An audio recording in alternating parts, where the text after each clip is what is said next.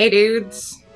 Let's look at some Christian memes on Instagram. So we got a classic Ralph meme here. When you bring your friend to your Pentecostal church and they just sit there like, I'm in danger. That's the best Ralph impression I can do. I'm in danger. I don't know.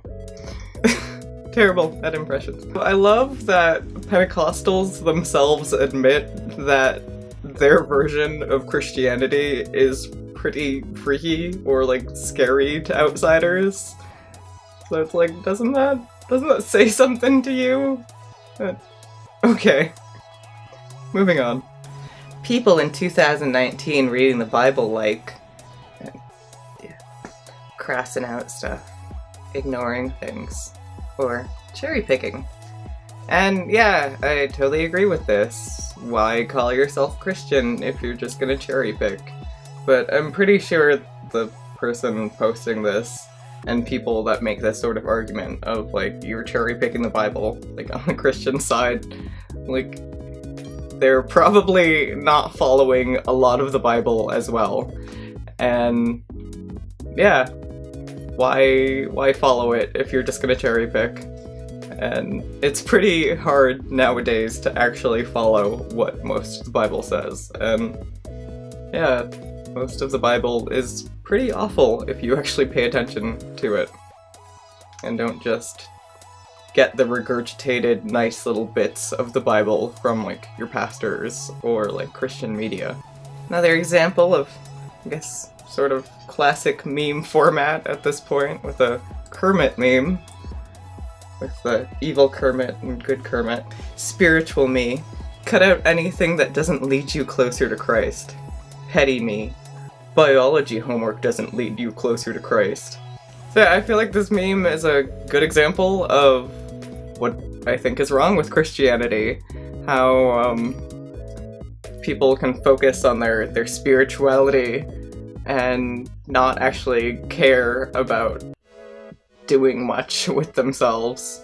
So when I first found this post, I was a little bit triggered, I guess, because it uses a picture from this documentary called Jesus Camp. Most atheists by now know this documentary. It's a really good documentary on the evangelical community during the George W. Bush era and they follow this uh, Jesus camp and kind of show the crazy side of kind of indoctrination in the evangelical community. Yeah, this screenshot is from a part when a girl starts crying and uh, she's freaking out from like her belief in Jesus. It's been a while since I've watched this documentary, but I remember I've always kind of come away from it feeling really sad, I guess, for for the kids that have had to have that sort of childhood of having a religion pushed on them so hard. And to me, intense indoctrination of children is pretty much on par with child abuse.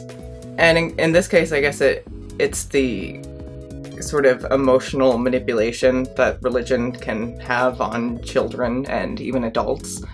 And this documentary is a great example of that emotional manipulation.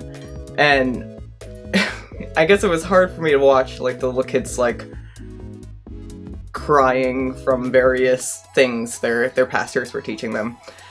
And yeah, it's funny to me to see this documentary as seen as like a a good thing and seen as like Christians watching it and being like, wow, that's wonderful. Because, yeah, there's this example of the screenshot used from it with when you're out with your church friends about to order the number three and a shake, and the background you hear Oh, the overwhelming, never-ending... I guess it's... I don't know, I guess I'm probably not singing to it, right? So they, they see this... the screenshot from a documentary that's pretty disturbing to me and other people in like the atheist community. and they can see it as like a, a good thing. So, so these next couple memes, yeah, I think are very, very terrible use of the format because one, I love this YouTuber, Gus Johnson is super funny and adorable. I love that super cute Wisconsin accent and he's just super funny. And yeah, this is from his video talking about like don't at someone about checking their DMs on Twitter. I forget the title of the the video, but it was a super funny video and yeah, terrible use of a screenshot from the video. So the first meme is saying Daddy God in prayer, and it says the Bible verse that's from. And then the next meme is women teaching or exercising authority over men. So, yeah, there's there's a lovely use of Gus Johnson with that Bible verse.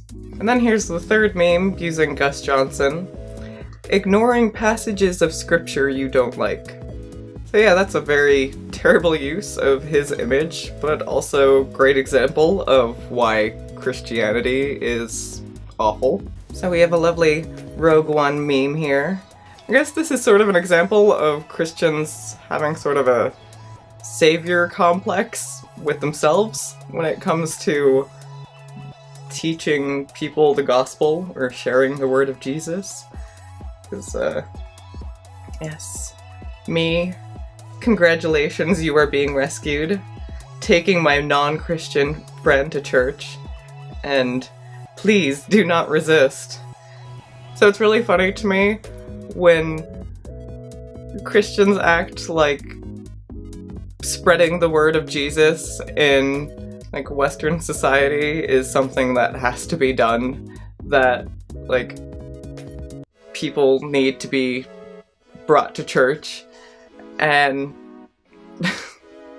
and that by bringing them to church they're going to to save them. Yeah, the majority of western civilization has been Christian now and it's not like telling someone about Jesus is going to really help them. It's not like a brand new idea. I guess you can convert people sometimes, but yeah, I, I just love this idea of Christians thinking they're like saving people. So this next meme is pretty funny to me because it's one of those things I've heard of people saying, but it's just like, really? People actually say that? Or like, I think of it as like a, I guess, old-fashioned thing to say, but yeah, I guess in, in 2019, people are still doing the you have to have space for Jesus while you're dancing thing. This lovely picture of you want to dance? Oh my god, yes. Okay, you two, leave space for me with the, the capitalized me there. Have to capitalize for anything with Jesus. but yeah, it's just love the picture. Love love the awkward Jesus in the middle of these very plain looking white people. So it seems like Christians have had this weird thing with uh, Chick-fil-A ever since the whole controversy with, I guess it was like their CEO or something saying homophobic stuff and the company donating to right-wing causes. And yeah, terrible company. But yeah, so because of that, now right-wingers and especially Christians love the chicken restaurant and this is just one example. I saw a few others of talking about their love of Chick-fil-A. I don't really know, if I say it right. Is it Chick-fil-A? Chick-fil-A? I don't know. Yeah, here's one example. Netflix and chill? Nah. Let's Chick-fil-A and pray. Winky face. Oh yeah, that sounds like a fun time. It's just weird to think of people sitting around for the amount of time like you would like Netflix and chill, like binge watching on some shows, just like praying and eating like fried chicken and fries.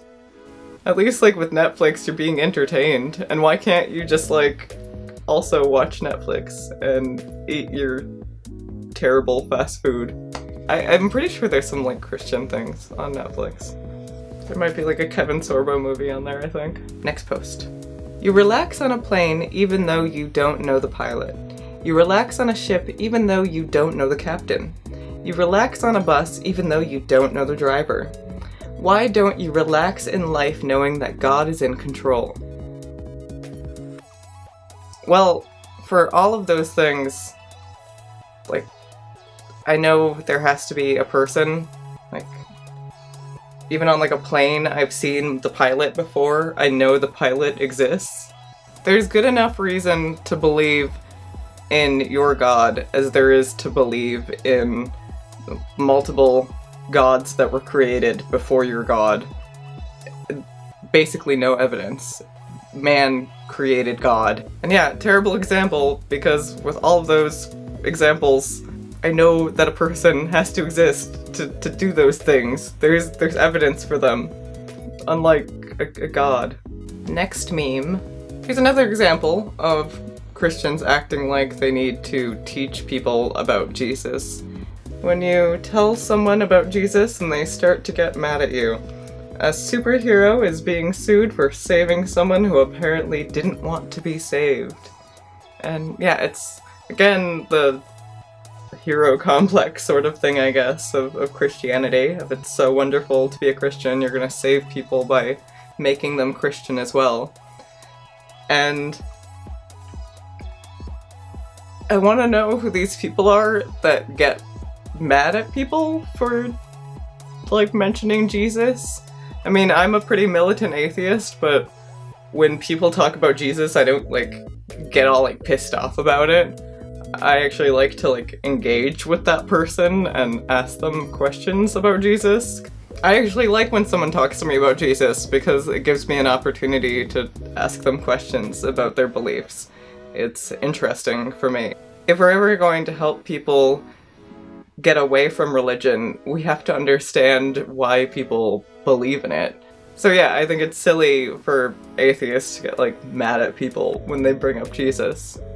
And also having the savior complex about teaching people about Jesus like it's this like unknown knowledge within our society is hilarious because Christianity is like everywhere, especially in America. And I'm guessing this person is probably American. I don't know, I could be just assuming. Next meme. I hope that when they put Jesus into the tomb, at least one of them in their mind was like, carefully, he's a hero. I love the comment that this guy posted with the wonderfully written meme. I really do. When Jesus died on the cross, he was killed by his own people. I hope that they realized after he rose that they just crucified their own Messiah what I've never understood about Christians being like, people should feel bad about Jesus suffering on the cross is that wasn't he supposed to go through this ritual of dying so he could go to the afterlife and be resurrected again so he could like basically open it up for everyone else to like be absolved of their sins? And they could also go to heaven. Just believe in Jesus and you'll go to heaven. It's like without that key thing of being crucified, the Jesus magic wouldn't work. So it's like, I, I never understand this, like, those people should have felt really bad. You would have thought that when Jesus went back and people saw him resurrected, they would have been like, oh cool, that that magic worked, and yeah, you are the Messiah, that's cool. In the story of Jesus, I think Jesus suffered a lot less than a lot of people have throughout history and at this present moment with the amount of diseases and horrible suffering there is in the world. It's funny to me how much Christians think about Jesus' suffering, but they barely think about how much actual suffering is going on in the world. But yeah, they, they have this like obsession with thinking about how much their their god must have suffered for them in this thing that he created and set up. But he had to do the special Jesus magic of being killed and resurrected too. Christianity's weird. So I'm gonna preface this by saying this is a very wholesome meme, you guys. The person who posted it says it's a wholesome meme. Beyonce, I love my followers. Jesus, I loved my followers so much that I died for them. So yeah, again, Jesus was God in human form and was able to come back to life. And it was part of his, like, magic thing he had to do to absolve people of their sins. And yeah, Beyonce is just a pop star. I don't know why she should be expected to die for her followers. I just want to go to the comments of this one. Just some wholesome Christian memes for you guys. Not only did Jesus die for us, but he rose three days later, essentially concerning death so that we could be with him for all so that we could be with him for all eternity. Jesus loves you and have a great day, Faith. Smiley face. He ain't real. I'm fine with Beyonce. And yeah, great comment. Loved it. She's not going to save you from hell, honey. Just repent and trust in Jesus with all your heart. Uh, I don't get why someone couldn't, like, like Beyonce and be a Christian at the same time. Oh, okay. But yeah, also, Beyonce's real. And why does she have to save people from anything? Can't Beyonce just continue to make pop music that some people like? Not really me. Yeah, I just love the comment on the bottom. Would Beyonce die for you? I think not. My god, all this Beyonce hate for her not dying for her fans. So this last meme is just peak, just wonderful meme. I just, oh my gosh, I love it. I might do a whole video on it. Tempting. Um, the combination of Christianity and Sonic the Hedgehog. It's it's a beautiful combo. I'm, oh, I love it. so, ugh. Okay. so excited. So we have Sonic the Hedgehog in front of of a pretty lady saying, "What the heck you think you're doing there, buddy? Stop looking at her." Pornography is a sin, go read the Bible instead. And... Yeah. Sonic says so, kids.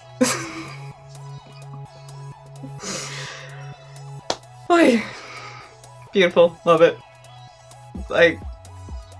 Ugh. Part of me just hopes it's a joke, but don't think it is. So yeah, that was some Christian memes of Instagram, and I hope you liked that. And yeah, later dudes.